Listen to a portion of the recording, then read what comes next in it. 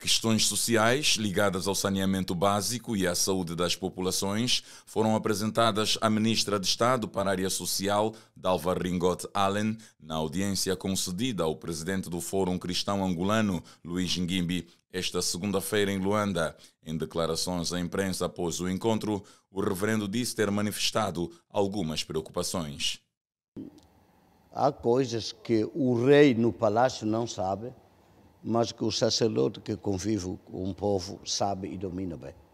E quando essas oportunidades surgem, é para falarmos de algumas coisinhas que, o próprio, que escapam ao rei, mas que o sacerdote já domina.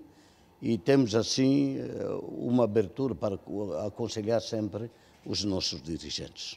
Segundo Luís Nguimbi, a questão do saneamento básico, uma das principais causas da malária em Angola, esteve em abordagem no encontro. E em questões alimentares e outras tantas, já há uma ligeira minoria, mas, melhoria, mas em termos de saneamento básico ainda não estamos lá. Continua ainda a malária, uh, o paludismo para nós, a fazer muitas mortes, eh, a fragilizar o estado de saúde das populações. Num outro momento, a ministra de Estado para a Área Social recebeu em audiência o bispo da Igreja Anglicana em Angola, Dom André Soares, que vai à reforma depois de ter cumprido 38 anos de missão em nome do Presidente da República, João Lourenço, a Ministra de Estado para a Área Social recebeu os cumprimentos de despedida do Bispo, que durante 17 anos prestou contributo em ações de combate à malária.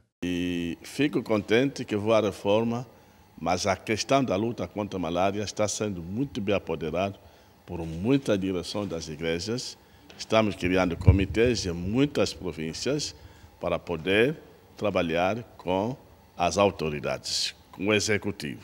A ministra de Estado para a Área Social recebeu ainda a reitora da Universidade Católica de Angola, Maria de Assunção, com quem analisou a possibilidade de parceria entre o Ministério e a Faculdade de Ciências Humanas da Universidade Católica de Angola.